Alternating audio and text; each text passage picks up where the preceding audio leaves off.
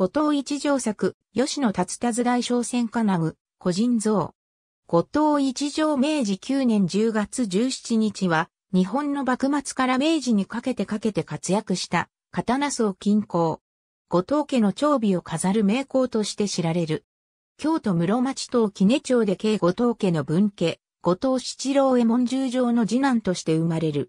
幼名は英次郎。母は二条家家臣、野間市出身。兄、後藤光弘、弟、高蘭も近郊家。1800年頃同じ系の分家、後藤八郎兵衛献上の養子となる。1805年15歳で、献上が亡くなったため、八郎兵衛や第六代目当主となり、高家と名乗る。1811年に高校と改名し、白兵衛宗家から大判の牧書書改めや、奮闘制作の依頼を受け、京都における業務を代行した。さらに文政年間初め頃、三代と改名している。1824年、広角天皇廃陽の正宗の刀装具を制作。その功績によって、同年12月19日北京に上される。この頃から一条を名乗った。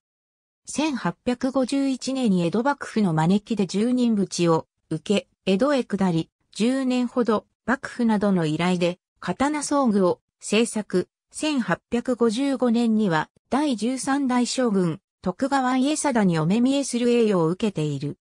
1862年朝廷の命で京都に戻り、孔明天皇の刀装具を制作。翌年6月8日方言に除された。1866年から幕府の御用は、この三信に譲る。1868年朝廷から一代、限り年米十票貸しの通知を受ける。一条細工所を経営し、口述する優れた弟子を多く輩出した。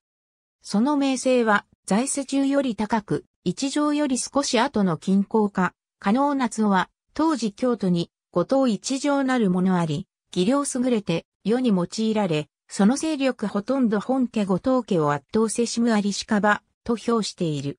維新後は、京都府知事から官業上御用係などに任命された。明治9年、くしくも配当令と同年に、京都で死去。去年86。戒名は、三代院一条美稽古寺。墓所は、後藤家歴代と同じ京都北区の窒息山、長徳寺。江戸時代において、後藤家の刀装具は、格式が高く、途上する際の刀装具は、後藤家のものが通例とされていた。しかし、江戸中期以降に入ると、格式の高さゆえに、形式主義に陥り、後藤家の家堀に対し、より斬新な表現や新素材を用いた横谷派や、奈良派などの町堀が台頭してきた。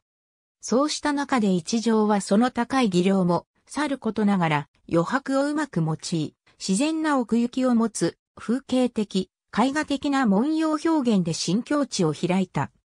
特に朝廷から依頼された刀層は他の金利御用の工人たちとの協力もあり、武家の刀層に公家文化が融合した豪華で格調高い作風が示される。これは一条が余儀として和歌や俳諧、絵画にも秀でた文化人でもあったことが影響しているとみられる。そのため一条の作品には、遮奪なものや自作の歌を取り入れたものが散見する。また、後藤家では、金と尺道以外の地金を用いた制作を禁止していたにもかかわらず、鉄地の唾も制作している。ただし、やはりはばかりがあったらしく、その際には一条ではなく、白王、凹凸三人、一位、夢竜などの別号を用いている。弟子も多く、この後藤高来、船田はじめこと、和田和馬、今井長竹、橋本和志、アワボの表現で著名な荒木透明、通信教育を受けた、小阿弥勝義など。ありがとうございます。